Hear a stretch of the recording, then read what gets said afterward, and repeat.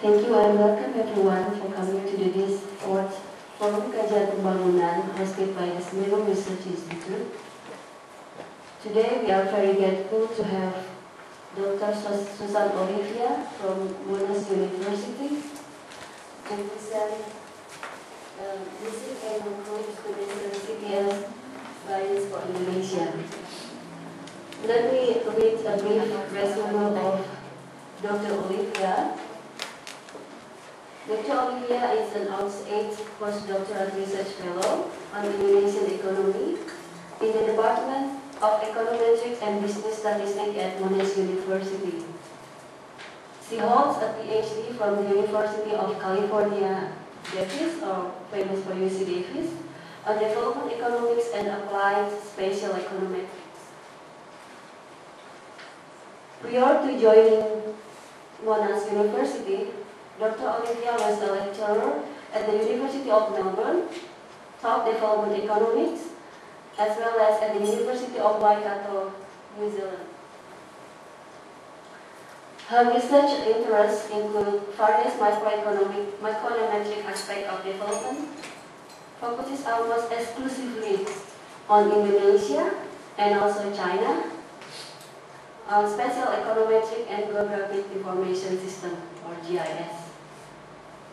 So today, the title of uh, Dr. Olivia presentation is uh, also John Gibson from Waikato University.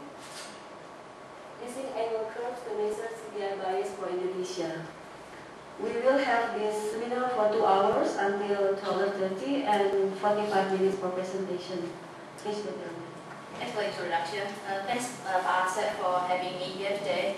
And then also like thanks a lot for you all to like come to my uh, seminar as well. So as uh, mentioned, this today the paper presented today is a joint work with uh, John Gibson. So the reason I put the Waikato there is that you know when I talked to my Indonesian friend, they thought that Waikato is somewhere close to that Way Kambas.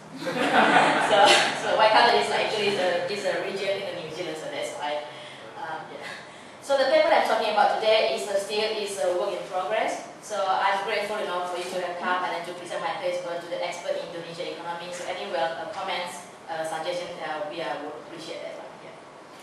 Um, so let me like, try to like, give you some kind of like motivation here is that we always know that price is kind of like a very important variable in the economics, macroeconomic content in here.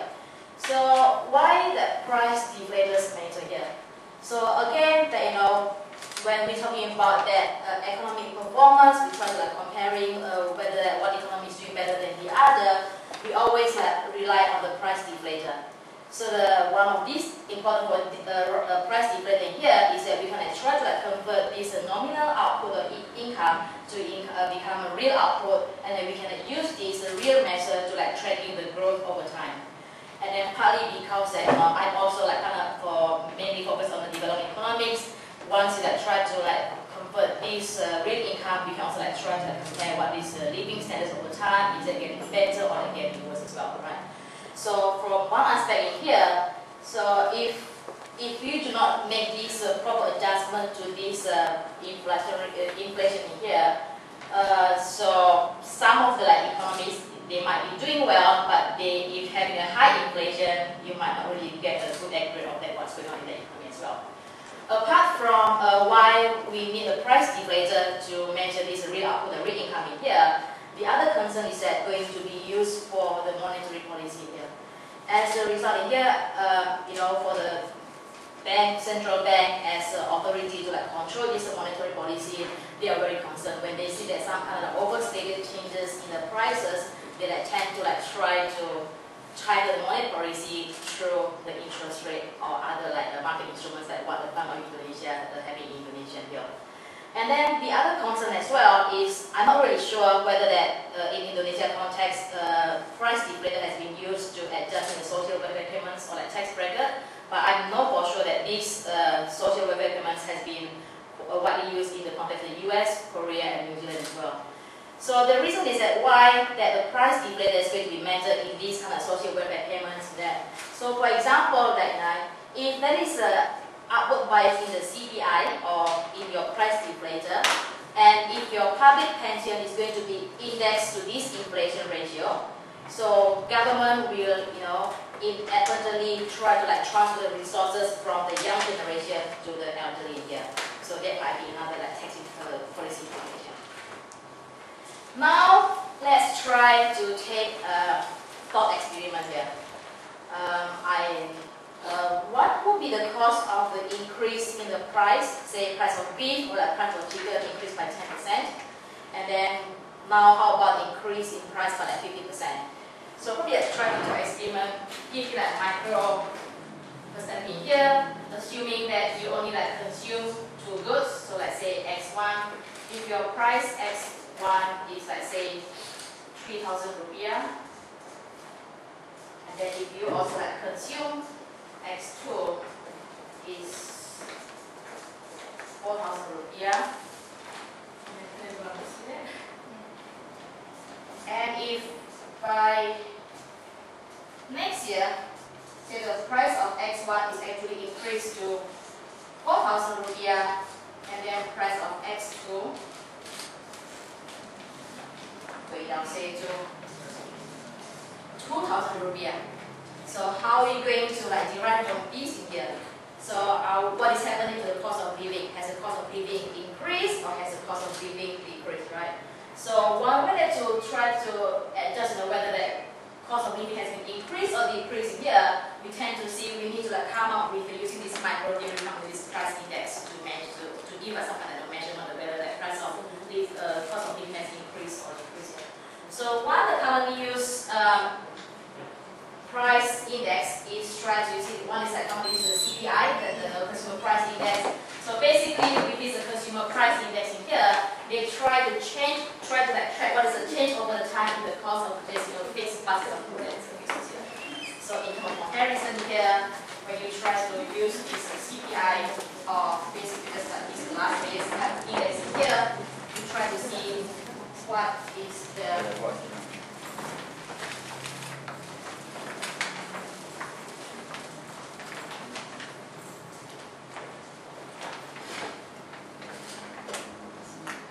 So you try to like see, try to look at the ratio, what is the cost of reaching the original bundle comparing with the uh, new price with the old price. So the key with the CPI here, you they don't allow the bundle to change at all, right?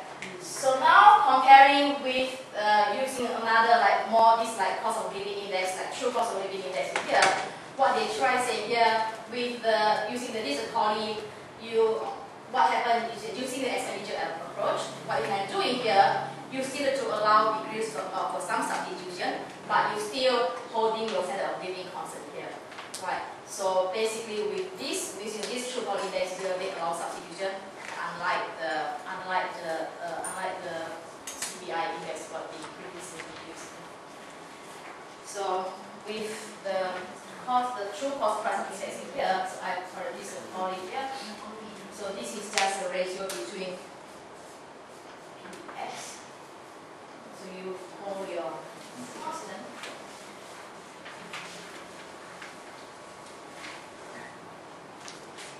So there's key things that this guy is holding your utility constant, and then this guy is holding your barter constant. So if, for example, that you are consuming 5 kilo of like 5 kilo of rice and then 2 kilo of chili, no matter whether the price has increased or not, you're still going to start with that 5 and 2.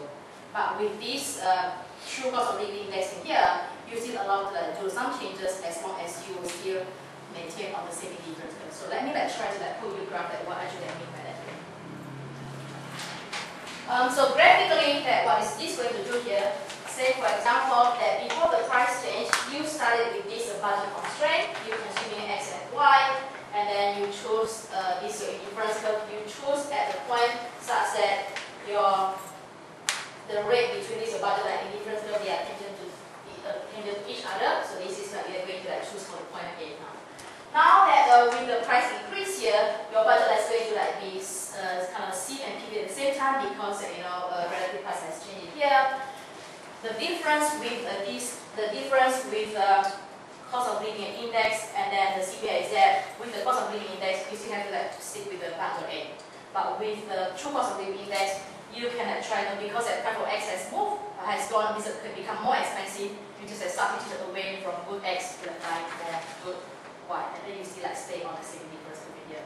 So as a result, when you like try to like, do this comparison here, if you are using a CPI here, now that point A is no longer attainable because it is way beyond your budget line. So as a result, uh, we tend to see that CPI is going to always uh, overstate the true cost of living index.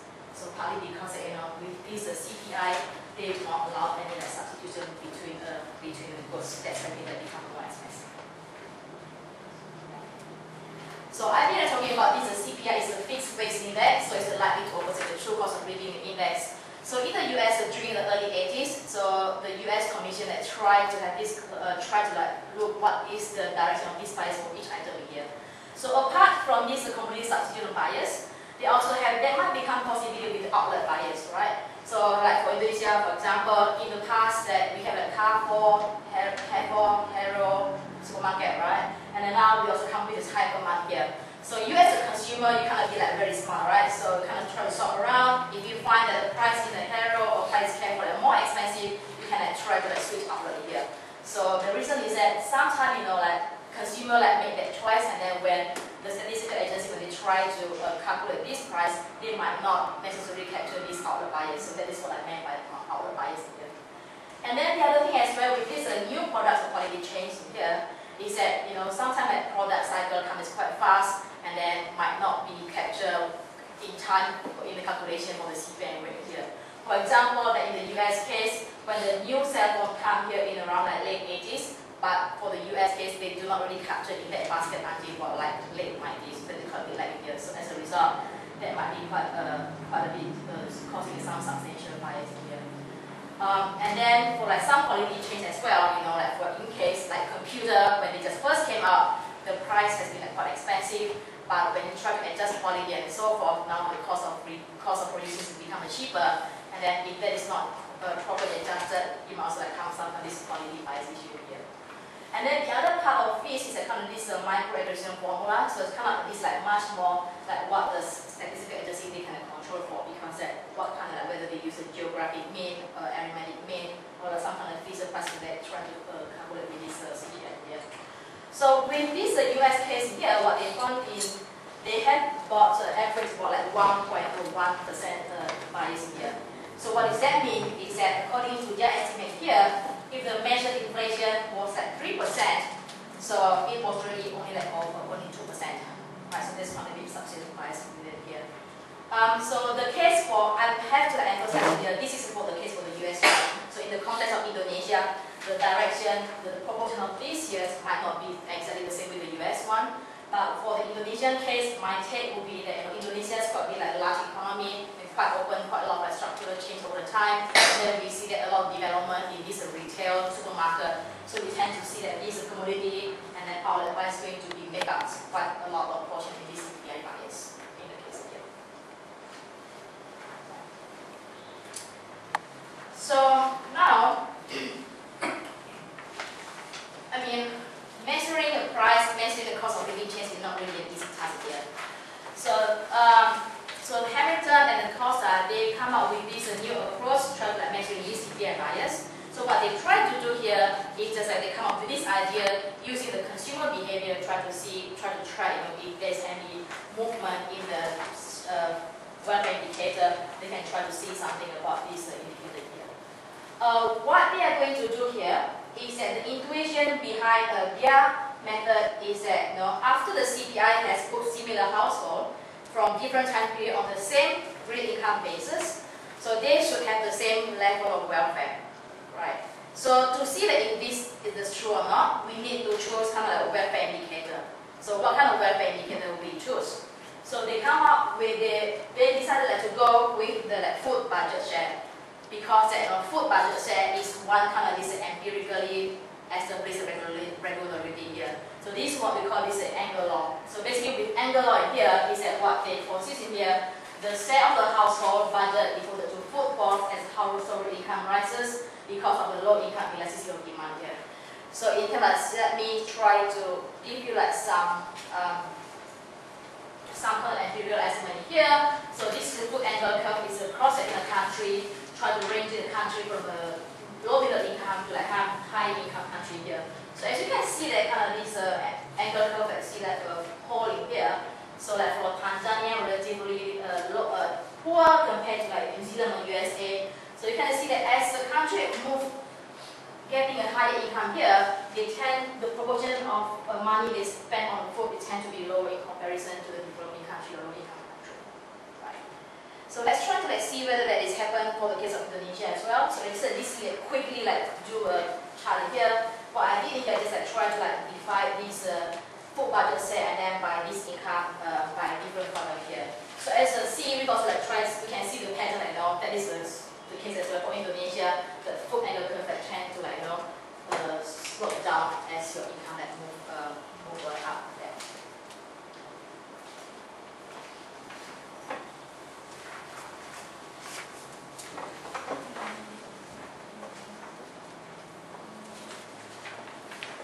So um, so this is a quite study done based on this uh, Engel law approach.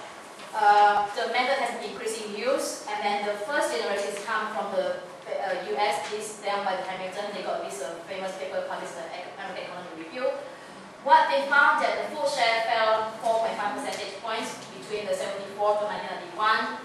So rise in the CPI deflated income explained only about 1.5 percentage point, and then relative food price and trend other variable explained 0.5 percentage point here.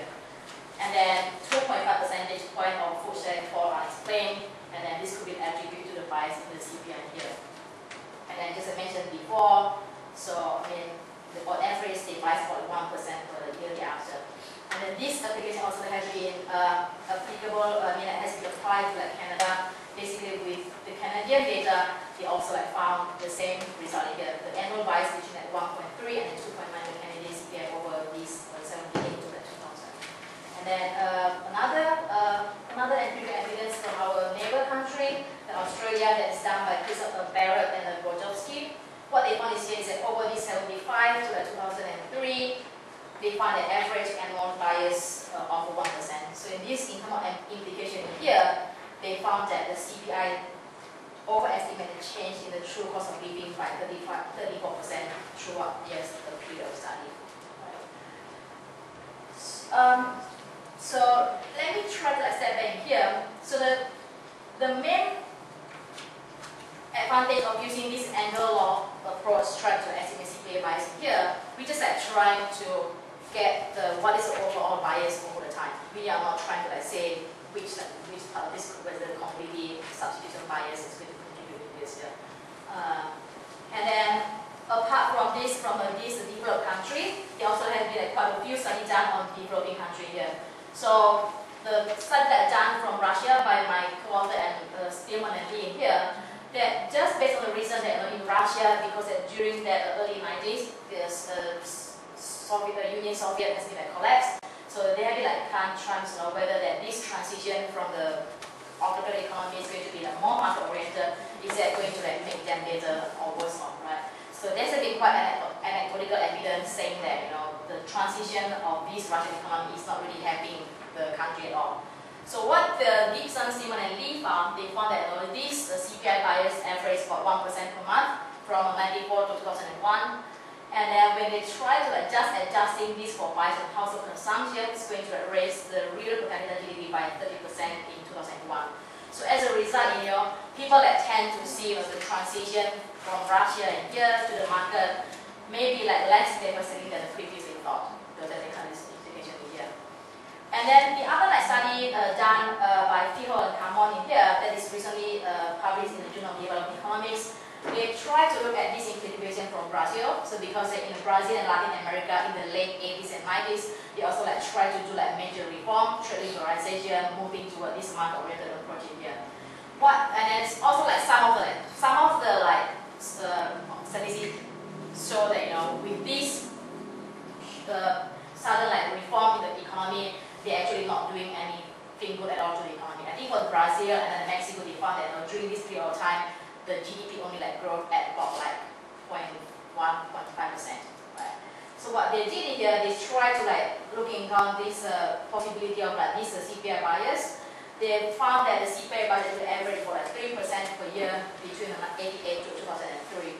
So in terms of this implication, you know, whether that whether the welfare of the household in this Brazilian economy they are going to do better or worse, they found that by correcting this bias, the average household capita income actually grew by 4.5% compared to the 1% suggested by the official data. So that's probably like 3% difference in the change in the welfare of living uh, in this uh, economy. Yeah.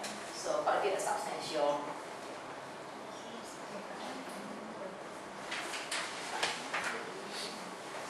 So now come to the point that uh, so this paper is going to like empirically to estimate this uh, by, uh, CPI bias using the Engel curve approach in Indonesia. So you might try to say, you know, why study Indonesia? And then probably like the easiest reason I can give it to you because I'm Indonesian. So of course, and I always find that anything of Indonesia is very interesting to study. But probably to convince that we have a non-Indonesian audience here, we are, are probably like do better than that apart from this uh, nationality here. So one of these one is that because I think that Indonesia is going to be like economy-wise, we are doing pretty well in the last few in the last uh, 10 years or so. And that Indonesia is kind of these emerging economies. And then uh, we always have tried, uh, you know, we also been putting in part these uh, newly emerging economies, always like having the same economic performance compared to at least Brazil, Russia, India, China, and South Africa.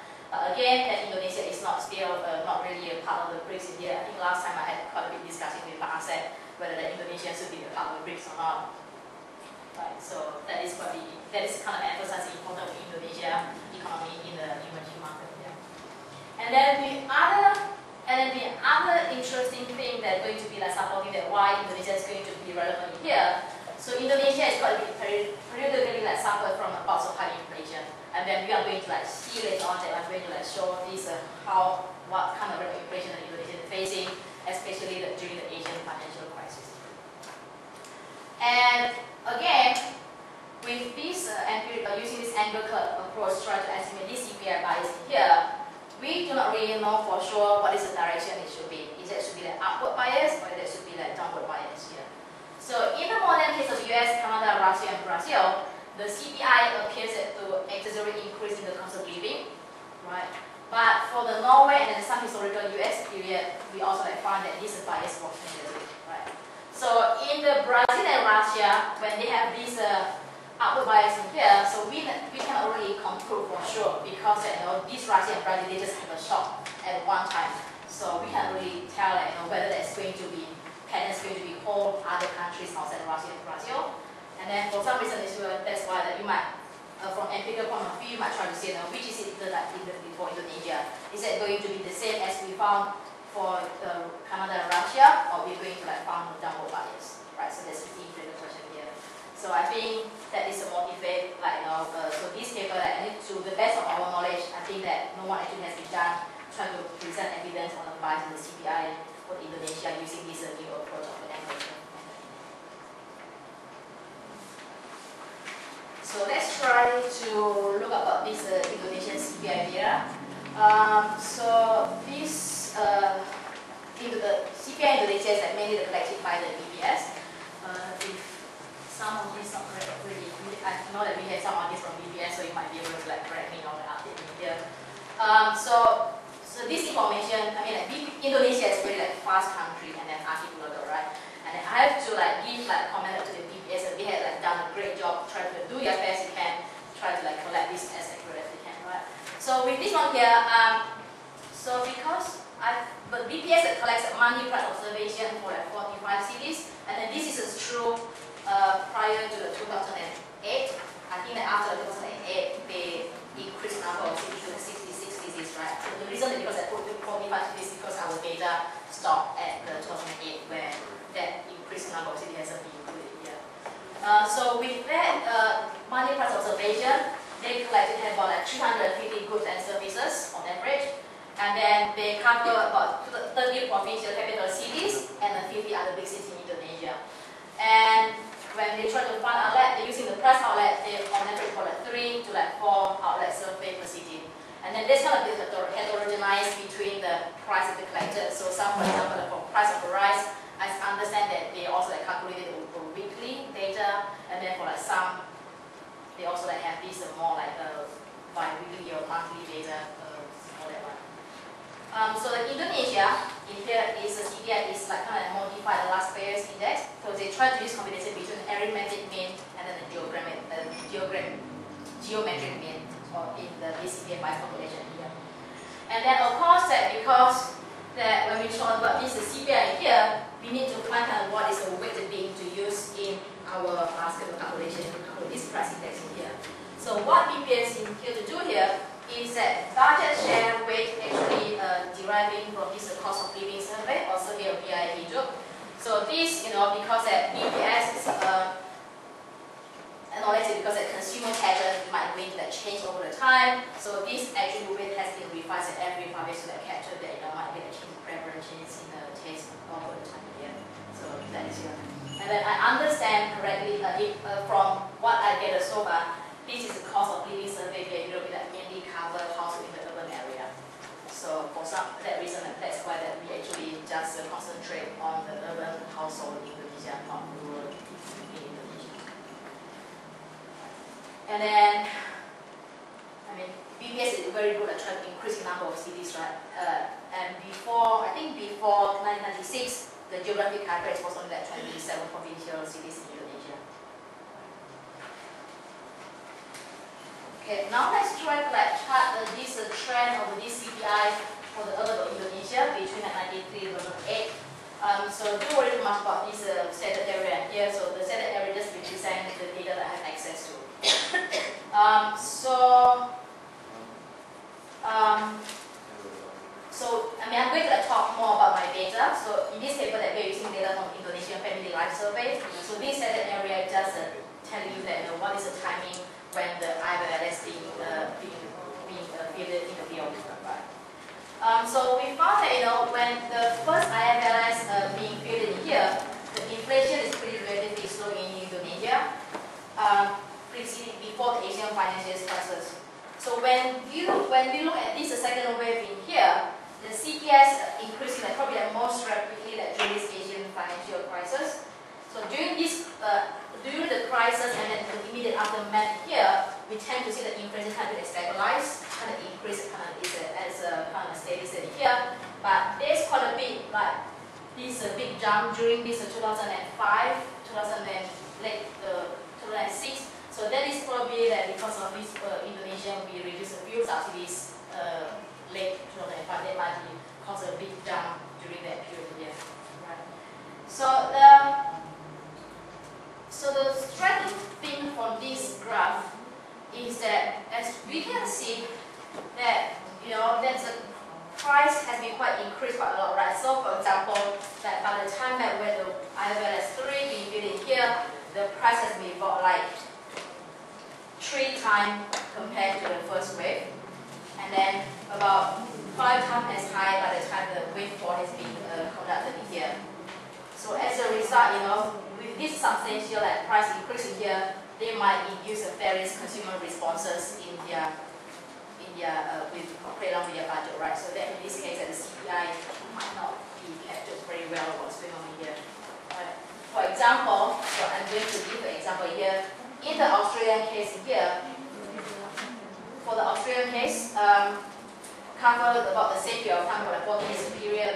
So Australian find that the uh, increase index about uh, about 150, but for Indonesian case overall period, we found that this uh, increase index about reached to about 600. So as a result of this one here, even though in the Australia with uh, this modest uh, in the CPI here, we found that they actually found a substantial bias in their CPI. And then probably with Indonesian case, we saw a big increase about 600 here, that might be the bias going to be potentially bigger for the case of Indonesia. And the other thing that uh, with uh, this CPI here is that BPS also like calcu uh, calculate the price of the aggregate and then they also like disaggregate uh, se separate components like food and non-food in here. So what we did in this graph here, we just like try to how it's going to like inflationary and so it's going to like translate it into this uh, non, uh, food or non-food uh, comparison here. So what we do here is that during the during the crisis here, we see that the food price is going to be increased faster than non-food. So during this long period here, I think our index for the food is about like more than 400, but our uh, the index for the non-food is about like 200. So going to be like, you know, this is the this actually being empirically uh, empirically shown in a data done by I uh, IFLS like Duncan Thomas and Strauss. Yeah. So again, the big challenge in here, when this relative price quite a bit here, uh, how you might expect the household going to like, do like some adjustment with their consumption pattern here. Right. So and so what we can be like quite a possible price in Indonesia uh, before that we are delve into this empirical work here is that CPI is kind of like this fixed weight index, right? So because that you know what uh, Frankenberg et al. and then I think and then the Pardano as well, what they found here is that the food sales in the CPI basket, they tend to be lower than average of the food sales from various households in Indonesia. So this is a CPI basket that from, uh, from what I found here, so during 1993 97, the CPI basket of food is about 39%, but between 1998 and 2003 is a 30%, and then 2004, 20, 20, uh, 43%. And then compare with this annual socialized data here, we found that there's going to be substantially larger than what is being, uh, being uh, in this CPI basket here. And then one other result here, I think that's also like what the Frankenberg uh, asset found here, is that food prices rose more than non-food prices during the crisis. And as a result, you know, because this CPI appears to like give a low weight to food, as a result, when you like try to do of this uh, cost of living increases, uh, especially during uh, Asian financial crisis, they tend to be understate the cost of living during that time period here. So let me like, try this using this graphical approach in here, because when we sometimes when you know no one can accurately when you try to like, measure the price, they bound to be some kind of like, degree of error here. So say for example that over the time this is the price that you measure, and then also like some error component involved in this here. So when you try to like accumulate this over the time in here, so this 5t is just what is accumulated percentage increase in the CPI measured price at the t time.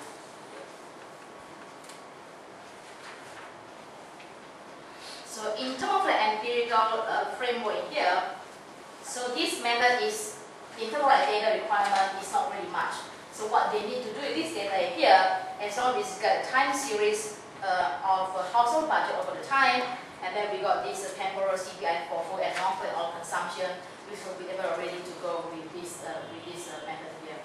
So, so what is this method here? Is that the first thing is your budget share for the food in a household I in a region J, and then in time period T it's just a linear function of the log of the real household income and then the relative price and then under the control variable. Right. And again, we have this uh, true cost of living of index here. It's just a geometric average of the price of the food and non-food here. So one just uh, try to do a bit like similar, like you know, uh, simply like substitution into the equation here. We are going to like find what is this. So this is the equation that I'm going to use in our estimation method here. And this you have also the controlling for like control variable like household demographic characteristic. And then this uh, we also including the time dummy, and then we also including the regional dummy in our equation, and then course like passing the other variables that are equation here. So the this uh, the delta t here is the coefficient associated with the dummy variable. Is the crucial in that try to see what is the extent uh, maximum of the CPI bias here. So what we can do here, because this kind of error in your CPI bias here, we do bit manipulation in here. Once we like, try to like, get this ratio, if that is relative bias close to zero here, this our expected bias is just going to be just a ratio between coefficient estimate from this equation, this is delta, and then B associated with our difference between these reading income and adjusted for the equation. So So that is basically that. So this is the direction for the bias that is going to be concentrated on in our mind. So let's come to that data part here. So the data that we are using in this paper here, we are using this Indonesian Family Life Survey data, IFLS. Um, so probably most of you have known about this one. IFLS is a longitudinal survey data, so they track the same house over the time. Uh, by the time that we are using this one, the wave 4 already low. So wave 1 covered about like 3,000 individuals in the 70 to 100 household. So in terms of coverage here, it's not the whole region uh, as what like Switzerland did, but they just cover about like 13 provinces in the wave one, but they track the same uh, same household over the time. So even though they, if they move out from the original province, the IFLS is going to extract them Um, so the the has been known with a you know, low attrition rate in the data. It's about like 90% of the original target household interviewed in wave four. And then the sample has grown from 7,000 households to about like 1,400 households by wave four year. And then apart from that one, we also have this uh, detailed expenditure and consumption. They also have this uh, one week report for, for about 35 items, and then they have annual report for non-food 25 items. And then the way that, you know, uh, and then because as mentioned before, that given the concern that uh, the cost of the, the survey of VIP mainly is covering in the urban area. So that's why for also that reason we only concentrate on the urban household area to make sure we got the we got the consistent estimate here.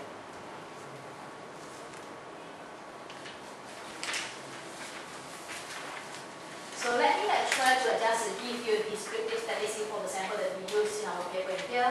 So probably this is a budget set for the food at home.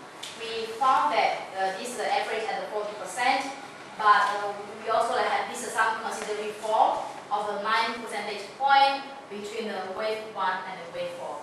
Right?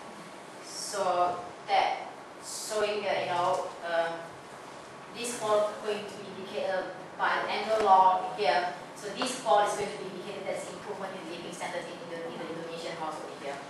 Right, so and then once we do that, we can also try to see that whether this is going to be commensurate with the recall increase in the CPI, the income in Indonesia. So, and then we also have other characteristics here.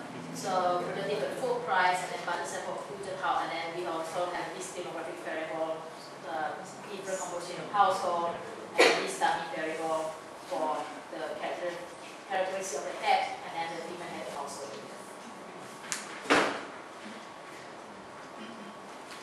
So, um, so before I move on to my estimation result, is that um, there's quite a bit of reasoning we use in here.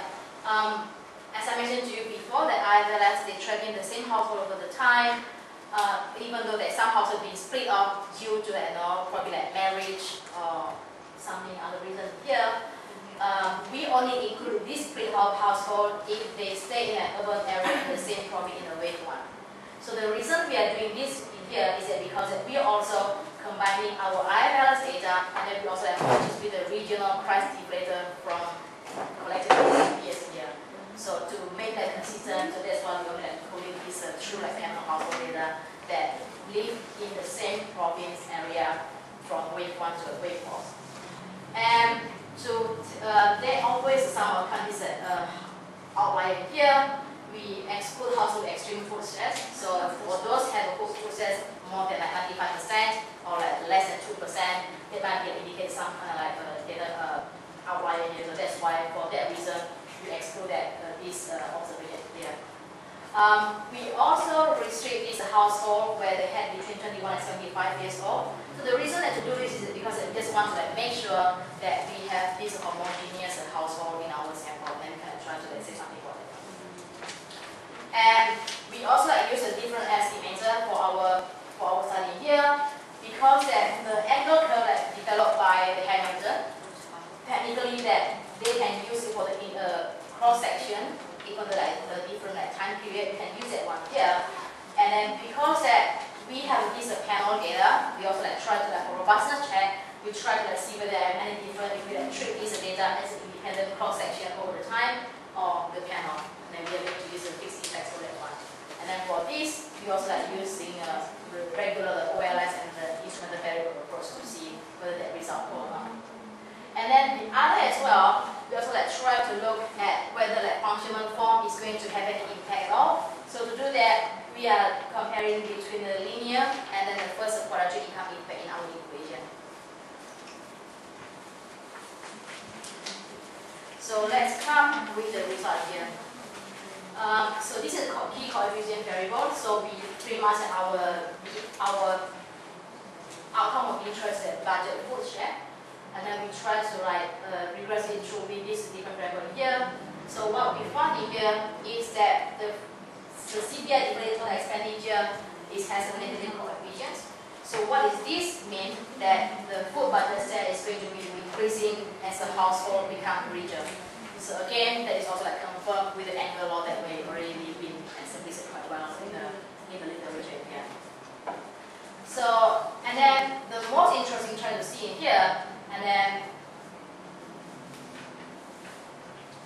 as I mentioned to you before, so this uh, coefficient related to this uh, time variable is going to be the key here. So by default, if this Engel curve hold, if this Engel long hold, and then we expect uh, after adjusting for inflation, you expect that this uh, full budget set is going to be like stay constant over the time right? But if there's, if we see there's a drift in this uh, coefficient, it's not staying the constant, or when you try to plot, when you try to plot between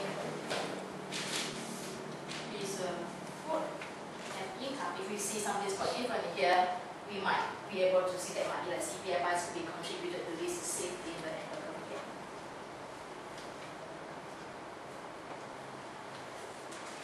So then, so that's the, the other variable here is food share. Yeah.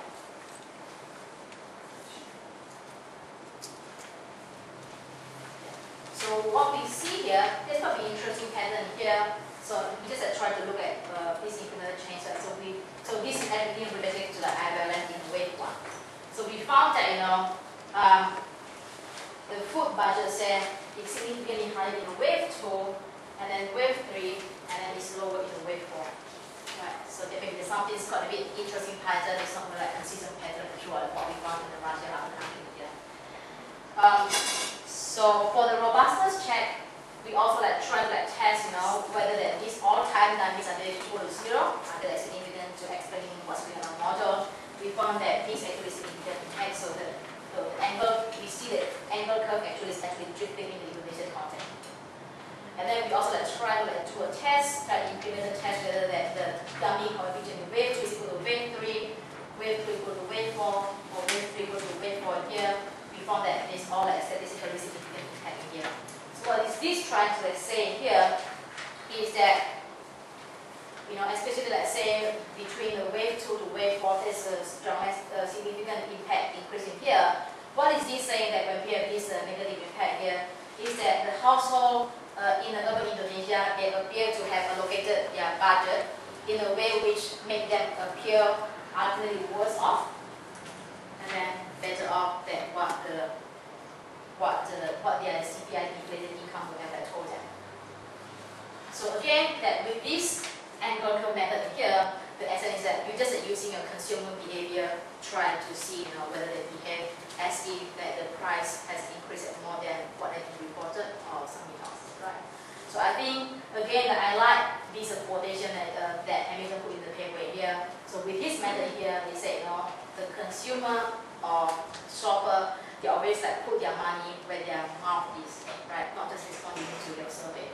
So which is like again that why that you know this food using a decent food budget set as one of the key variable is going to be kind of like holding that robust because the one I said, you know, no matter how how rich you are or how poor you are, food is kind of a stable commodity and with the income elasticity is quite not very elastic, not very elastic. So that is going to be all this robust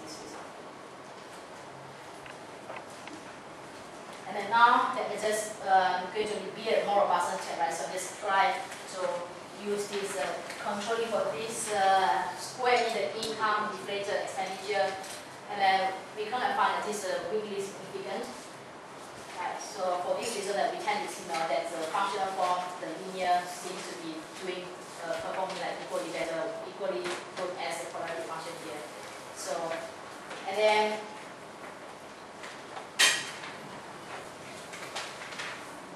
and then apart from this using OLS here, so you might want to say that um, you know sometimes this expenditure reported they might have sometimes this potential measurement error here.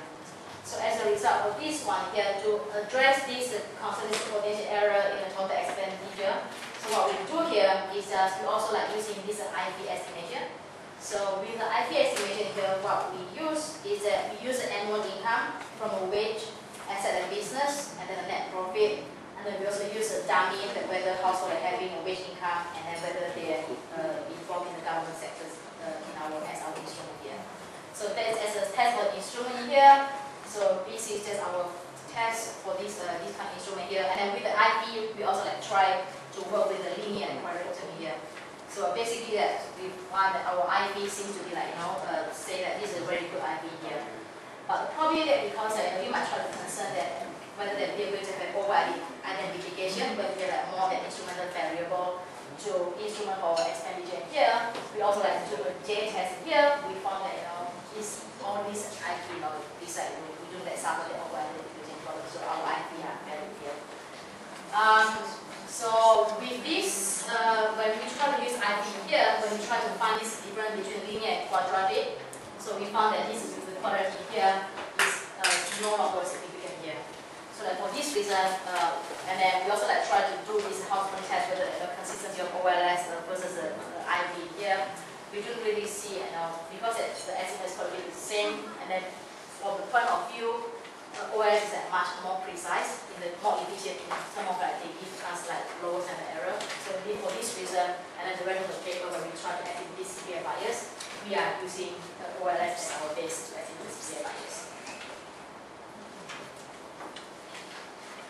Um, and again, for this another like more robust than I told you before, that uh, previously just using as uh, use IVS as a cross-sectional, did cross-sectional here. In this case, we try to explore the longitudinal measure of the sample. So what we do here is uh, we are adding the household fixed impact to the OLS regression.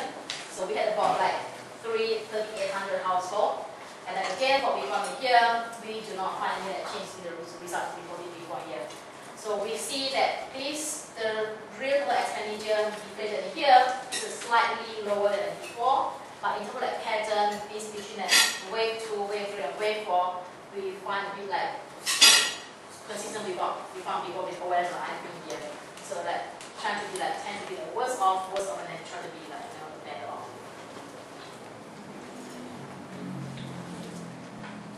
So now let's try to look at this um, let's try to look at what is this, uh, what is the cumulative bias anticipation for this uh, from, uh, from uh, our IMS data here, right? So let's try to like concentrate on this uh, row number two when we look at this wave one to like wave three. So the initial period between the wave one and wave three. Um, so basically, it's like the one in the bracket is just like indicated uh, the center dates when the IFLS is being uh, fielded and then this is here, what is the what is the year between the uh, between this wave one to the wave region. So over the time period between the wave one and wave three here, we found that the CPI bias is negative. So in this sense that the house allocated their budget as if their cost of living was increasing at a faster rate than indicated by the CPI here. Right, so holding other else so our full expenditures being increasing here. And then when we look at this between 93 and 97, so the CPI did not really like keep up with the cost of the cost of living changes in here. So what we found in here is that we found the annual rise of like 18.9%. And then in fact that when we try to like, take this into account in here, so the real, I mean like the adjusted inflation rate should be like more than 25% as opposed to like 8.42% based on this uh, average inflation rate for the time period. Right. So again, again, um, this result is quite consistent with uh, with the previous literature, literature has been, but in the past, as well, done some work trying to look this cost of into Asian, uh, financial crisis here. Because you know, one of the reasons is that going to be relatively low wage being put on the food. That's why that you know during this crisis we tend to see that the cost of living has been rather understated during that period of time. And then now let's try to look at between the wave one to the wave uh, and then after the 2000 in here, we try to see that this kind of CPI bias tend to switch from a positive to become a negative after the third wave here. So for right, so let's say for 7.5 years between the wave 4 and 3 and wave 4, we found that cumulative bias is about 7.9%, which is if you try to like convert it into annual bias, it's really about like 10.61% here. Right. So again, that this this switch might be like quite substantial, large, such that when we try to look at this between like try to put this together between wave one to wave four here, so we tend to see that it's kind of like offset here. We see that multiplies for like 0.51% during this 14 period of time. So we then try to like annualize it, it had about like 4%, which is about like about almost at one third of the average uh, increase in the inflation rate in Indonesia.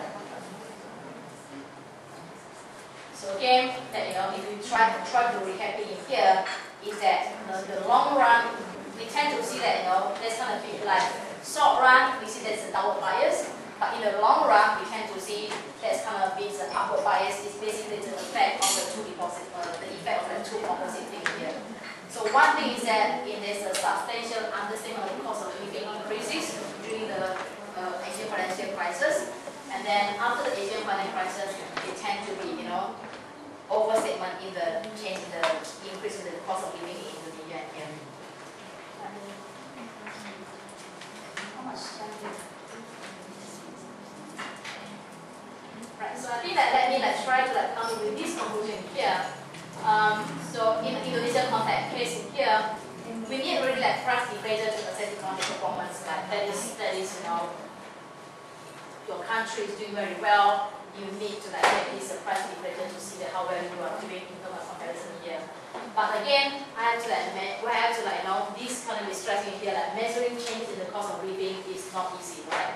So again, there are probably, you know, um, this, despite the best effort of the BPS to regularly and systematically change and collect data, given that how what Indonesia here, so it's very difficult to change to measure what's actually the real change in the cost of living is not easy.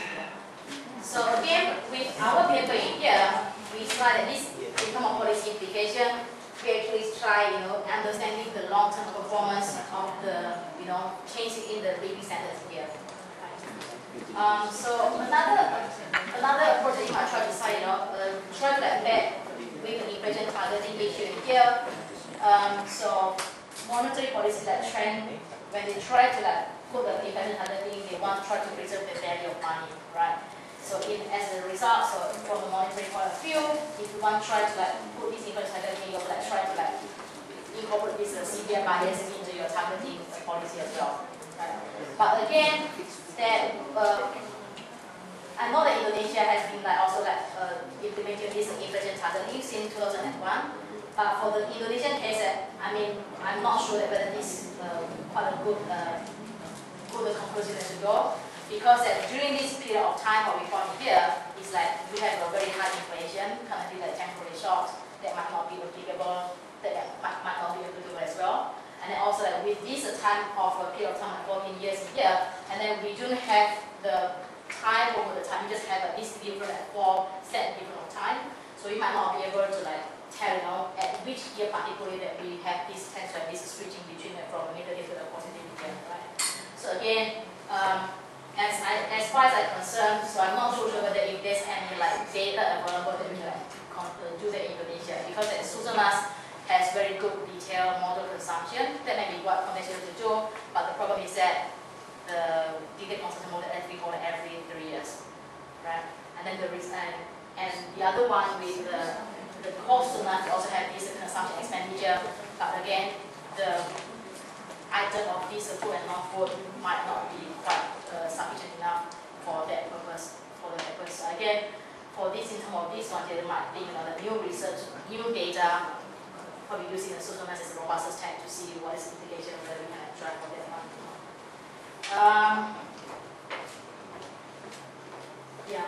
And then the other thing as well, in terms of this policy targeting, inflation targeting here, so when the monetary policy, when they try to come with this inflation targeting, they want to like, preserve the value of money, right? So when they preserve the value of money, so the value of money of every single rupiah is going to be the same, right? But that is the thing, you know, like some people in Indonesia case, some people might have more rupiah than the other. So if that is the case, that might not be something that we have to like uh, think about carefully in terms of that inflation targeting here.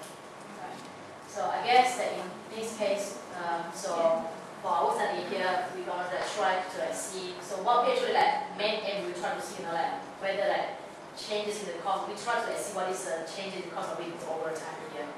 So I think what we found that you know we tend to see the kind of overall long-term performance.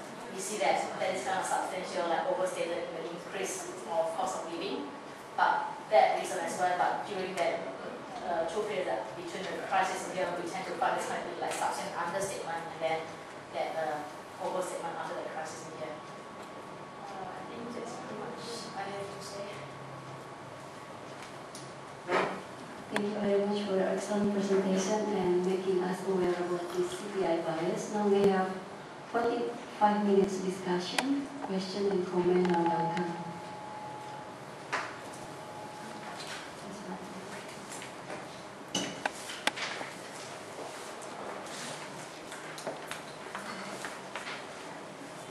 Um, my name is Alma from SMERU. Um, I think um, I have some basic questions about the explanation approach. Yeah. Uh, first, uh, I want to ask you, uh, what did you mean about the uh, extreme food share? Yeah, and second is, uh, I just wonder how many households were classified as having extreme food share. Yeah, yeah, yeah, because the number is is significant one. Yeah. Thank you. Should I just ask something else?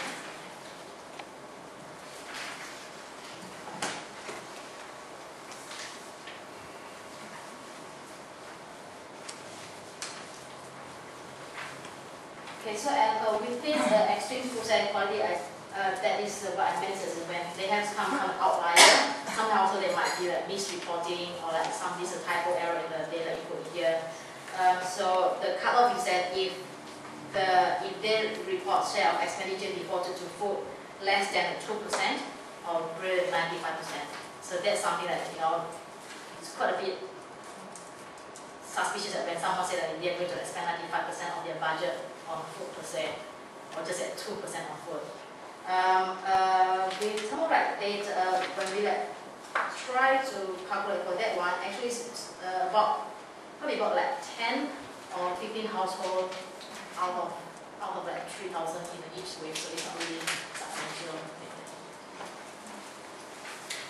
Next question. I have one question, uh, well, actually. Uh, first one is, uh, in your experience, is there any other country that uh, have similar pattern to us? Because you said that CPI bias is negative before 2000 and then become positive. And so why is 2000?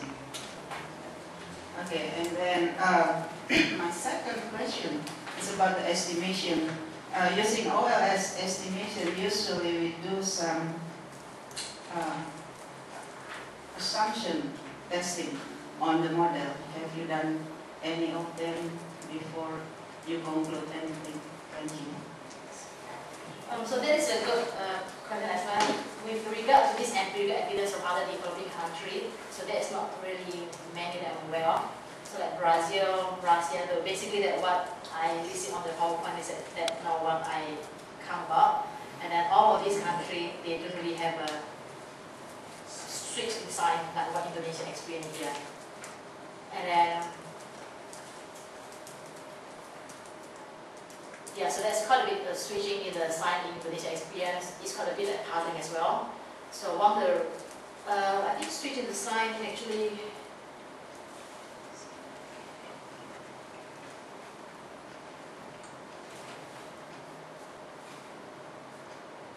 So between like 97 to 98, so that's one one about we have this uh,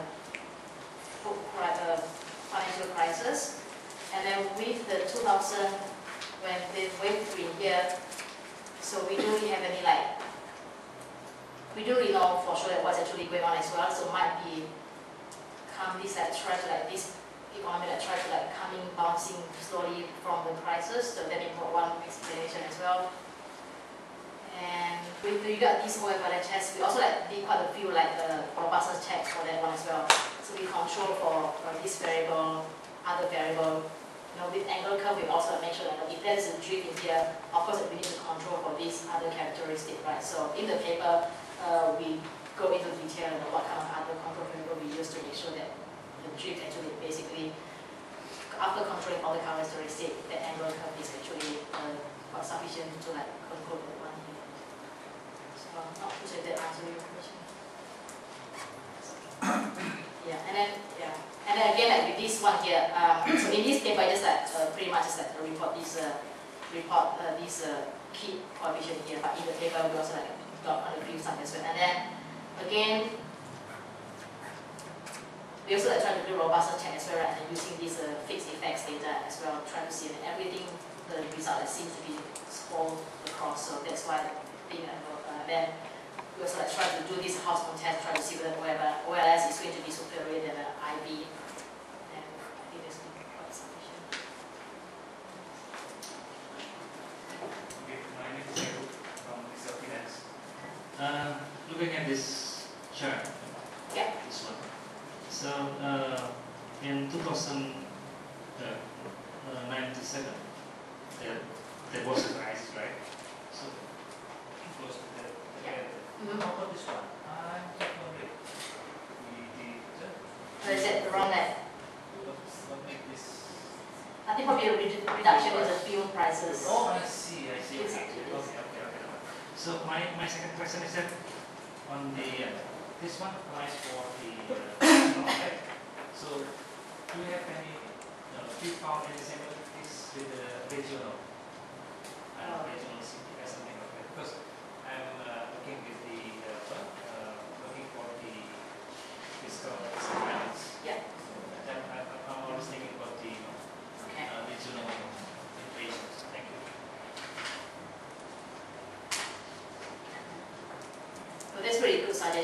we do have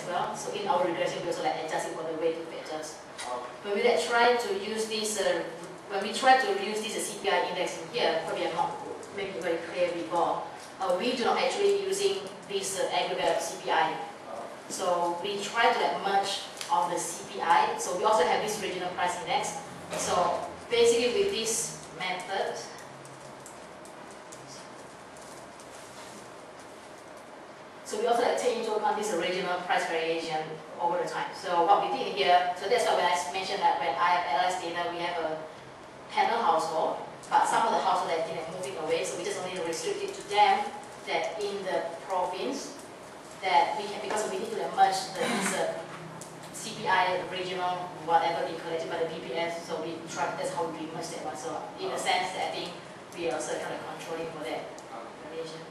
But I think at the end, probably like, uh, quite a good point made by the bar. And then I probably just try to like form descriptive to see you know, whether there are any like variation or percent increase in that we actually for that here. Okay, uh, I have a second question. Uh, you, not, not a question, but a request. Could you elaborate more, uh, how do you connect your uh, outputs and how do you get the uh, cumulative bias? So this is basically cumulative bias is from that equation here. So first let me estimate. So first we do estimate of this one here. So we got this uh, beta here, and then we got this your this coefficient related to the time dummy, and then this future dummy here, right? But because that what happened here is that we try to like see whether there's any drilling Engel curve over the time. So this coefficient uh, this was most interest to us. So we're gonna try to do this in this two main in here. So basically our bias here is just going to be estimated by using this equation. So just one minus exponential of this estimated of this one from this guy, and then beta is your from our equation. Any more questions or comment?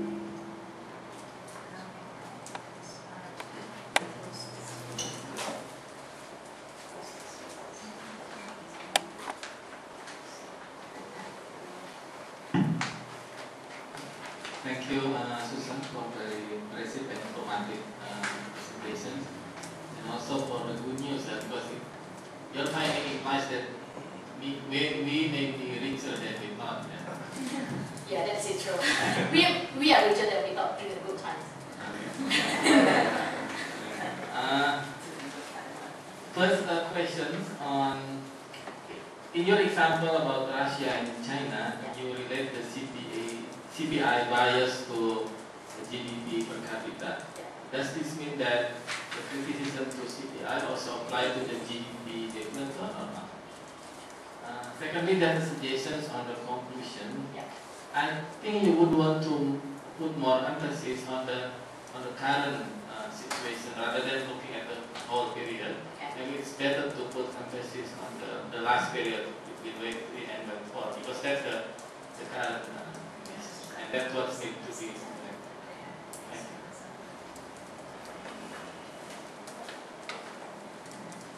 So within the price deflator thing, for Russia and Brazil, they actually use the CPI as a price deflator. So that's why that- that's main concern, you know. When there's a CPI bias, which is in turn be used as a price deflator, that's why that have an implication, you know, the countries are doing are not doing as bad as what people have thought. But in Indonesia we have GDP deflator, so our GDP per capita calculation is still okay. I haven't really linked through it to the GDP here, so if I got that more data, I'll be able to do something more. Thanks. And if you elaborate more on the GDP deflator, you'll see that our GDP deflator is always higher than CPI. So that's the first one. Okay. Why is, why is that?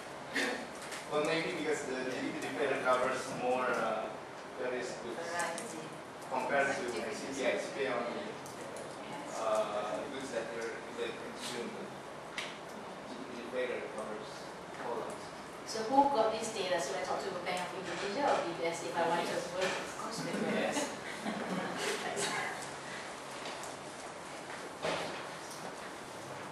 Any more comments or questions?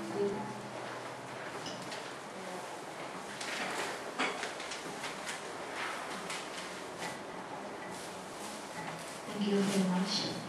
Um,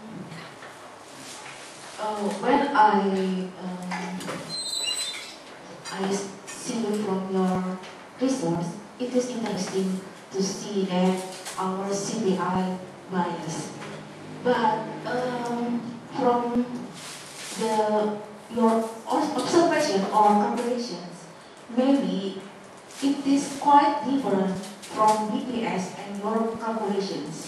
For your information, BPS calculates CPI from cost of living survey, not from SUSENAS. And your data, your calculations uh, is based on the Indonesia Family Survey data. And your commodity, the number of commodities, uh, is quite um, small. Your commodity for food are 55, Yeah. yeah, and non-food are 25 commodities. For BPS, the total number of commodities for 45 cities, as you mentioned, are 350 uh, commodities. So, when you calculate the CPI bias from the data, it will be uh, result the quite different different if you calculate from the BPS data. Uh, that is the first thing. And the second thing, your title is using Engel curves to resolve CPI bias. So, what is your recommendation for us, BPS, to implement the Engel curves in the context of uh, modified Laspeyres index? As you mentioned that we calculate CPI based on the modified Laspeyres index where the quantity is fixed over time until we uh, conduct the cost of living survey. So, what is your recommendation here? How BPS implement the Engel curve to calculate CPI? This is uh, uh, my questions. Thank you. Great question, thanks a lot. Um, so I'm aware that uh, the weight that BPS used in for the CPI is actually calculated from the cost of living survey. So that is just uh, with the SUSENAS as a try to like comparison, you know, how a bit um, kind of try to like get the difference between different kind of like survey, you know, see, uh, especially on the food item, right? So it looks like with the SUSENAS's data and then the IFLS, we tend to see the same pattern that the food item is going to be like food stats are much higher compared to the BPS here. But I guess with the I'm not too sure with the pretty relatively low food share in the CPI basket, is it partly because that cost of living survey mainly done in the urban area? Could that be one of the reasons as well? Because I think with IFLS and SUSENAS, you also cover both that urban and rural area as well. Is it low compared to other countries? I'm not too sure on top of my head. Yeah, but there's always something you can check.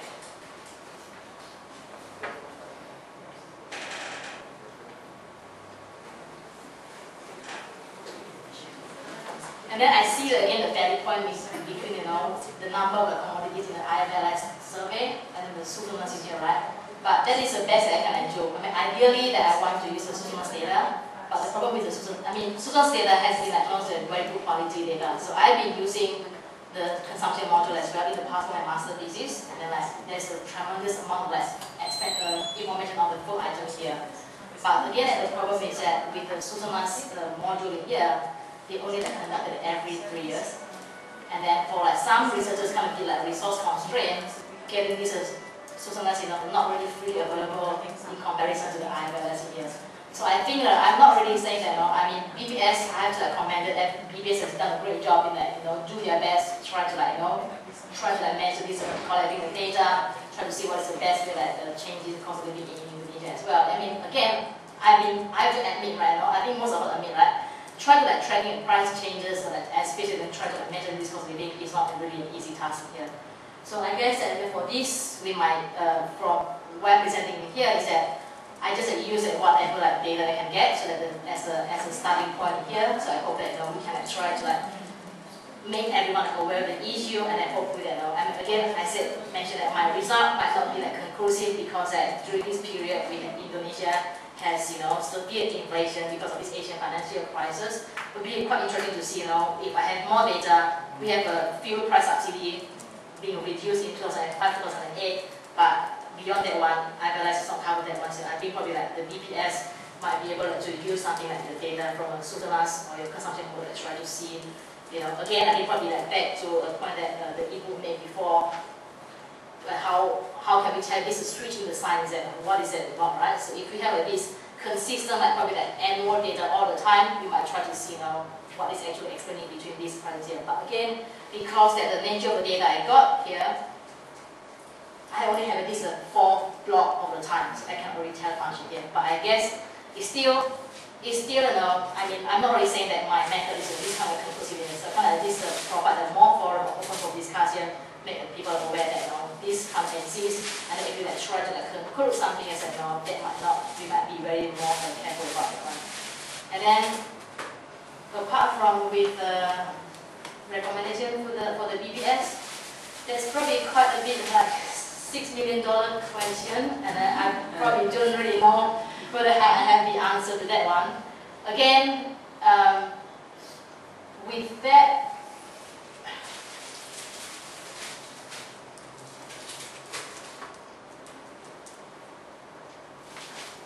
so with the with the with the Engel curve method, so this technically that can partially like deal with this commodity substitution bias and then the outlook bias here.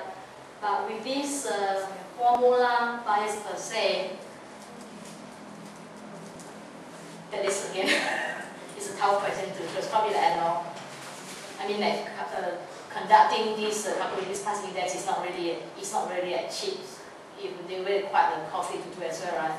So again, I don't know whether that you know what we found is it's quite a bit of different methodology being used by the BPS or not. So I mean this is kind of this in terms of like what is the best methodology for for data collection is not really is really beyond the scope of our paper.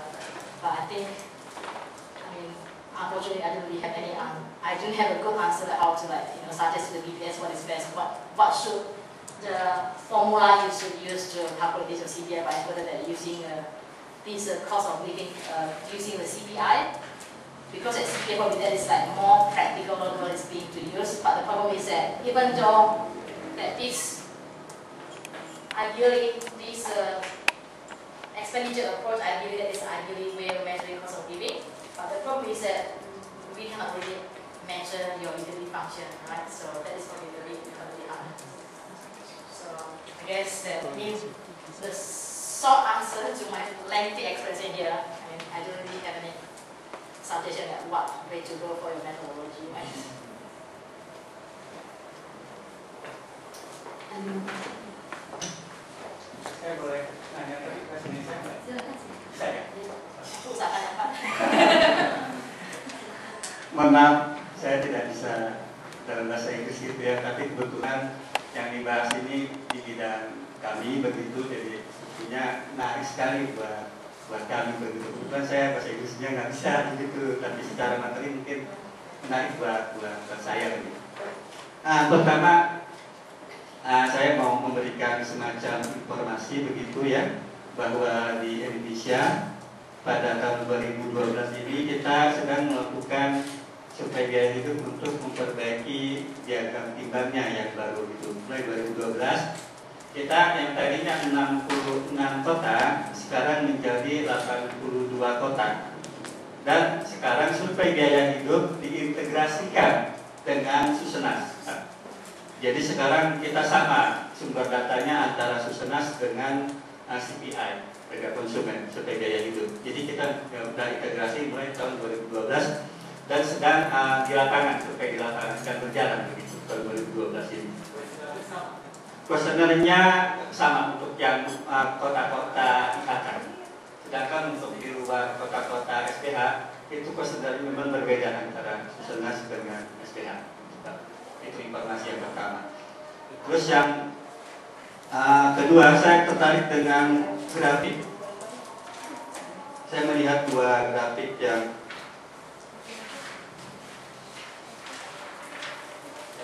satu yang kedua sebelahnya memang. Yang pertama itu memang kita lihat bahwa ada di tahun 98 itu karena krisis yang 2005 itu ada kenaikan BBM jadi memang situ ada gelombang. Tapi ketika kita lihat perbandingan grafik di sini antara rasio food and non food makanan dan tidak makanan itu hanya yang menonjol di tahun 98 sedangkan di 2005 tidak setinggi daripada tahun 98 itu dikarenakan memang yang pada saat kita ada krisis itu bahan pokok yang semakin tinggi. Sehingga dia memang rasio antara makanan dan makanan seperti itu. Tapi ketika BBM itu naik kebetulan di situ tidak terlalu berpengaruh terhadap bahan pokok kita karena kalau tidak salah itu naiknya Oktober 2005 BBM naik itu. Naik bulan Oktober itu satu bulan 8 persen inflasi di Indonesia. Dan secara uh, satu tahun kalau sekitar 17 persen gitu. Tapi ketika itu memang bahan pokok agak sedikit tidak terlalu melonjak seperti 98 makanya akan terjadi rasio seperti ini.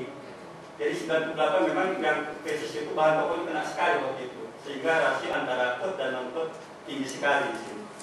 Itu yang masalah apa grafik. Lalu masalah metodologi yang seperti kritik daripada US Boskin itu sebetulnya sudah kami peroleh informasi ini sudah cukup lama ya dari bukan ada deputi kami Pak Albatum ya Pak Ali Rosidi seperti itu. Sebetulnya sudah mengungkapkan tentang kritik daripada uh, bias daripada uh, juga ya. Yaitu US Boskin ini. Dari beberapa bias yang dikemukakan ada empat, sini ada commodity institusi, outlet bias, micro aggregation formula, dan product coefficient. Dari beberapa bias ini sebetulnya di BPS sudah uh, melakukan uh, beberapa langkah begitu untuk mengurangi bias ini. Pertama, outlet bias itu sebetulnya kita tidak ada. Karena ketika kita mencajah, kita harus fair. Kita harus menggunakan outlet yang sama setiap bulannya. Jadi harga pada bulan ini di outlet ini tidak kita bandingkan dengan harga di bulan kemarin di outlet yang lain. Sehingga outlet bias kita tidak ada sebetulnya karena pada outlet yang sama. Yang kedua yang micro aggregation formula. Di situ ada arithmetic dan geometric mean. Malah ada tiga kalau nggak salah ya punya. Cari apalah ya bisa lupa ada tiga. Itu tiga formula kita gunakan di BPS itu di Indonesia. Jadi arithmetic kita gunakan juga, geometri kita gunakan juga pada saat kita menggunakan micro aggregation. Memang pada saat kita menggunakan uh, modified base keseluruhan agregat itu tidak mungkin karena dia juga umum kan, tapi secara kecil dia sudah kita gunakan. Jadi kita sudah menggunakan geometrik, kita juga sudah menggunakan aritmatik yang kedua. Yang quality change, perubahan kualitas itu pun sudah kita tangani karena kita tidak membandingkan itu produk yang kualitas berbeda. Sehingga pada saat kita mencacah bulan ini harga bulan ini untuk suatu barang dengan kualitas A, tidak mungkin kita bandingkan dengan kualitas B bulan kemarin. Sehingga yang uh, bias terhadap yang perubahan kualitas itu tidak terjadi di sini. Itu tidak bisa kita tangani. Ada dua betul yang uh, bias di apa dalam penghitungan inflasi di Indonesia, yaitu komoditi substitusi dan produk. Itu karena apa? Seperti yang Ibu Susan tadi terangkan bahwa kita menggunakan best payers yang kuantumnya itu tetap. Itu berubah ketika ada survei baru gitu. Nah di sini memang ada kelemahan kita pada saat komoditi substitusi. Kenapa? Contohnya ketika cabai naik, harga cabai naik melonjak. Pada saat harga cabai melonjak, itu padahal konsumsi kita kan terkurang sebetulnya. Ya kan kita mengurangi konsumsi kita cabai kita kan sebetulnya ada pengurangan ada kuantiti begitu untuk komoditas cabai begitu. Nah itu yang jadi takut di kan sebetulnya. Nah setelah kita coba melakukan beberapa survei-survei kecil ya yang melakukan adjustment begitu, tapi itu baru hanya beberapa jenis barang, tapi kita memang uh, mengakui bahwa di situ ada komoditi institusi, artinya ada bias, ada bias institusi di situ. Yang kedua, bias daripada produk itu benar. Kelemahan daripada restais ya memang produk pasti di Indonesia itu karena apa?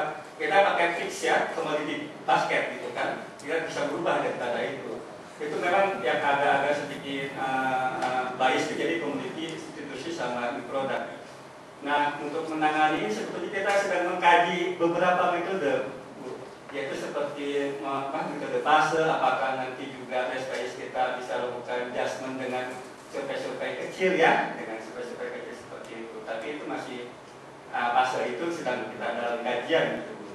Sehingga seperti yang yang ingin saya bahas sebetulnya bias kita ini setiap tahunnya itu sebenarnya berapa sih bisa nggak kita hitung gitu? Misalnya untuk tahun 2011 inflasi di Indonesia 6,96 persen satu tahun. Itu bias nggak? Lalu saya dikatakan bias itu kan pasti ada parameter ada duga kan? Itu namanya bias begitu nah kalau misalnya parameter itu adalah inflasi yang bisa yang real kita kan hitungnya real dari lapangan begitu pendugaannya berapa? Ya kan? Kalau namanya bias kan pendugaan nama sampel kan gitu. Sekarang yang realnya itu Indonesia di BPS gitu 6,96 lalu dugaan estimate itu berapa? Lalu metode apa yang menggunakan estimate itu supaya dikatakan 6,9 bias? Nah itu terima kasih Can, can I? Yeah. Because uh, he is uh, talking about the fraction and last. Just uh, just remind me uh, when I was a student last time. because uh, I just uh, try to uh, re, re my, my memory, you know. Uh, and if I'm not mistaken, whose uh, index formula, one is, is bias upward and the other one is bias downward. So what is the, you know, uh, the relation with, with, with uh, your calculation? Just thinking about this. Atau, atau teman-teman BPS nih, BPS kan uh, ingat saya itu ada bias upward dan bias downward lah. Sa- Saya lupa yang mana yang yang yang apa namanya yang aspek atau yang pasif. Satu itu ke atas biasnya, satu ke bawah. Ingat saya, ingat saya seperti kalau yang indeks itu kan yang ideal kan bisa Bisa. Ah, Ah, ya, bisa itu selalu ada di tengah Iya, di tengah. Nah, makanya karena apa bisa itu kan agregat Iya. daripada fase dan SKI ya Iya. sehingga pasti ada di tengah namanya rata-rata begitu kan Iya.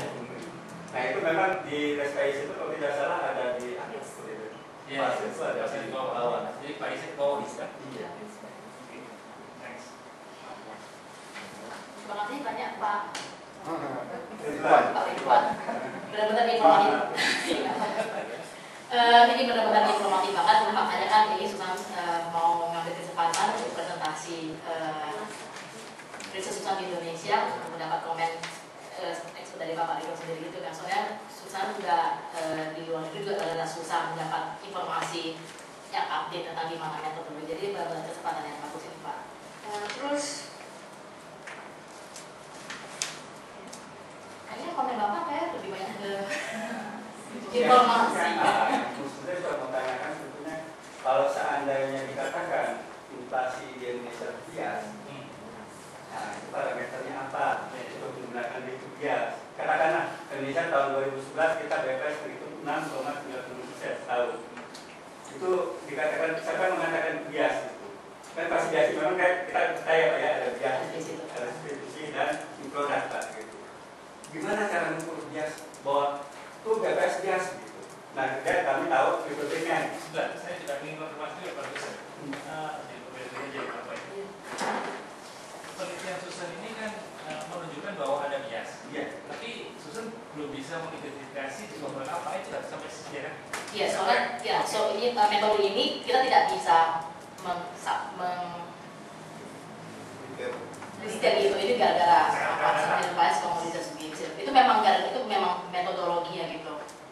Memang dari metodologi dari angle gitu. Iya, iya. Kita juga sudah agak gitu. Jadi mungkin ya kalau mau setelah detail itu yang gara-gara community bias, outlet bias, ya mungkin ada yang lagi ambil PhD suggestion for new topic.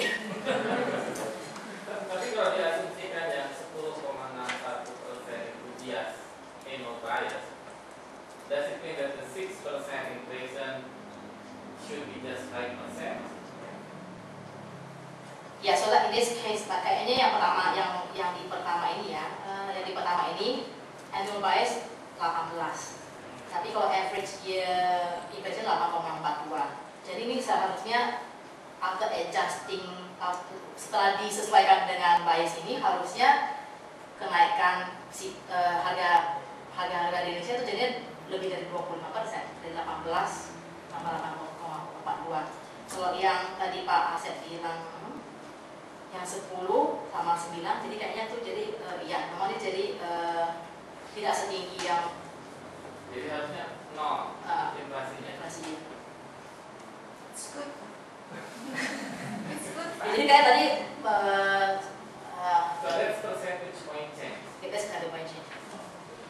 Sorry, I get a warning from the that we should speak English and use this uh, mic for the recording purpose, yeah. So I think that's going to emphasize that what uh, Pak Asep mentioned before, right? So uh, we actually not doing that as we have thought during the good times. Right, so in this case, like, you know, it looks like, you know, the, the houses kind of try to, you know, the way that they spend the food, they can expect food that increase at a faster rate than what that the cost of living has been uh, suggested. So if we if we use this number four percent, Yeah. so it means that inflation six percent. Should be just two percent actually. Yeah. Yeah. Apart From the BPS, do you want to add something more? Or would you like to say something? Response to this, Bapak. Bisa bahasa Indonesia? Okay. Any other question or comment, please?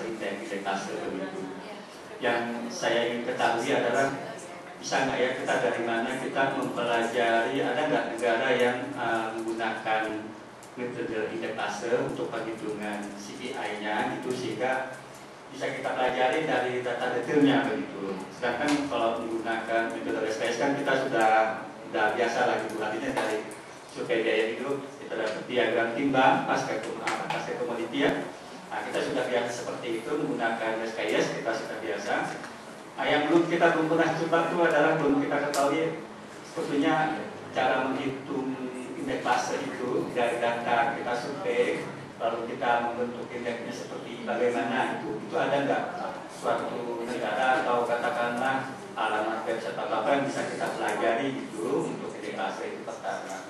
Kedua bagaimana daripada uh, interpretasi daripada indeksnya itu sendiri. Kalau indeks daripada less payers kita bisa menginterpretasikan tentang kenaikan dan penurunan harga. Karena kuantumnya kan tetap.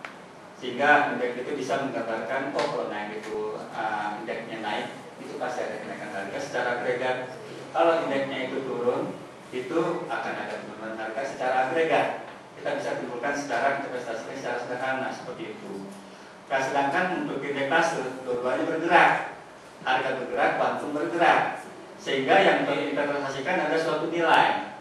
Nah, apabila kalau misalnya pasar kita gunakan itu investasinya yang kita nah, kita pikirkan itu investasinya adalah kan biaya, biaya jadi biaya hidupnya kan. Nah, sedangkan kita akan kehilangan informasi seperti apakah suatu komoditas itu naik atau tidak. Karena bisa saja dia itu harganya naik, tapi kuantumnya turun. Ketika kita bandingkan, jangan-jangan indeksnya itu menjadi turun, padahal harganya naik. Sehingga informasi yang kita peroleh indeksnya naik kok, apa indeksnya turun, harganya padahal naik begitu. Karena ada kuantum, kuantum yang berjalannya begitu. Nah ini mungkin bisa nggak informasikan ke kita tentang indeks pasir? Kami sedang belajar itu. Terima kasih. Uh, uh, statement.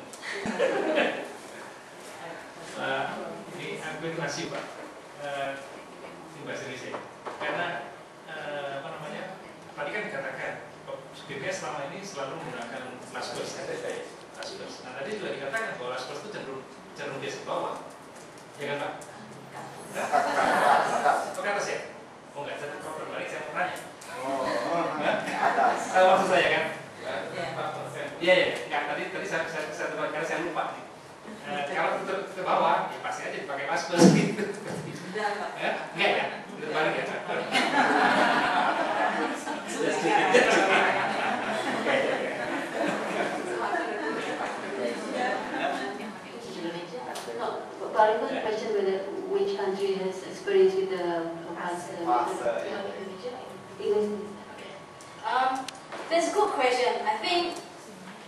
that when it comes as a tough job as a partner at the BPS, right? So you have to use a uh, big paper then like try to find what is the best way to measure price, what is a good method to do. And then from the literature that I've kept so far, I'm not aware that any of them using a Paasche index well. Oh. And again, partly because it interprets as you mentioned, right? So what's going on? So if I came across any paper that I will let you know. Right? And The interpretation. Oh, the interpretation. Low of the Paasche index, what is that? Yeah, there's a both movement, right? So I don't have an answer to that too.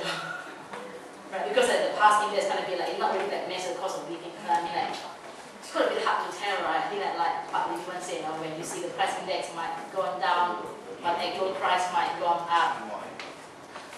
It's going to be a very like, messy picture, so I don't have the answer myself. So if I will think about it if I know anything, I will email you and be in touch with you. Okay. We almost um, reached the end of this seminar, but if there is still burning question or comment, we still have like three minutes. Yeah. Uh, sorry, on, on, on the conclusion that you mentioned, that, uh, the framework that was that is being used by the central bank, the inflation targeting, is not, it's not, I would say, it's not correct, it's not, it's not appropriate For Indonesia, yeah. Uh, can you elaborate more on why is that, why, why is, why is the reason, and what is the more appropriate uh, framework that you uh, think that would be more suitable to Indonesia? I mean, this framework could be could work well in Indonesia if we have the annual data over the time. I know that New Zealand is the reserve bank. we have been, I think that's the first country implementing, implementing inflation targeting. And then uh, my co-author, like Gibson, he also has done this study as well. And then using method, they got the they got time series data from I think early the 80s, like 2000, and then they try, they kind of try to suggest you know whether that you know the bias whatever from their estimate is going to be consistent to be what uh, what uh, Reserve Bank of India has been conducted here. So what they found in their paper, if I recall correctly, is that because that one of the purpose of the central bank as the inflation targeting, one is that you want to like, control the value of money. So once that you know what is the direction of this CPI bias, you can also like try to like set what is inflation targeting by this positive number of these bias. And then that's why probably one of the reasons you know when central bank try to like uh, set the inflation target, they never really set the zero inflation target because you know that bias, like but they do want to say that uh, bias is going to be there. Of course, that's why you. At least uh, from this bias, you can uh, try to see what is it, what you know. We kind of try to see what kind of buffer your your your inflation target should be set. At, right? So again, with my method here, we can, as I, as I stressed before, that we have this span like 14 period of time, but we don't really have annual data over the time. And then because uh, with this kind this uh, big shock happening to Indonesia during the Asian financial crisis, we can try to see this kind of flip flip sign between years. I'm not really sure that which within these 40 years, right? Over time we see, and then probably there's uh, this long-term period, 14 time we see that it's kind of upward bias, and then we and then from this between I got this wave two and wave three, I can say something, you know, that because you know probably like of this uh, sub, uh, kind of this offset between the upward bias during the good time and then the understatement of the increased cost of living during the bad time here. But uh, and again, you know, unless I have a long period of data, I might be able to tell you which particular year is going to be, we can like, try to like, see what's to be careful about the, the, the composite implication as well. So again, that if uh, for the implication, if central bank of Indonesia and one try to do that, probably like, you know, can try to use robust using a different data set, and probably like, know, try to look at using the SUSENAS, whether they can do it or not and then probably uh, in, uh, using different methodology in calculating the uh, price index. I think like I already don't know whether it might be using a possibility of using a Paasche, a Paasche index or like something else, and then probably with this uh, new integration of uh, cost of living with the SUSENAS, you might be able to adjust this uh, cost of uh, the basket probably like every year or every two years instead of waiting for like five years because uh, Indonesia kind of the country that everything that structurally changes very fast. Within five years, probably might miss something in in that here as well. And yeah, yeah. So in this case, yeah, even though that the intention for this paper is just try to see what is the long run, you know, like change in the welfare, but that also be some potential as well to use for implementation. And I know that and in New Zealand case, this actually has been done by the uh, by the Reserve Bank. So that's what we go again, again using other data and probably uh, improving methodology that could be and more like, you know, give it a more like concise policy implication here. So, just, just finish up. Yeah. Uh, you know, take, you, take look of the geographic, geography of this country. You know. uh, uh, Uh, uh, some of the increase is taken by the, the, the supplies of goods, because sometimes that, and I mean, supplies of is very difficult to get the price of food there in some, in some cases mm. higher than, than, than, than other places. So maybe this can, can be included in the factors which is triggered the bias. I don't know. But in my regression control, I also control for, I mean, the location. oh, I control for the regional dummy. Oh. But if you,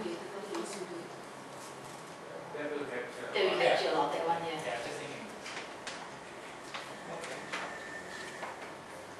Okay. I think we reached to the end of this seminar and we give a big applause for Ibu Susan. Thank you very much uh, for everyone for coming to this uh, forum. We still have two more forums that will be hosted by SMERU um, next uh, Wednesday and the following Wednesday. And today we also serve lunch for everyone after this uh, seminar. So thank you and good afternoon.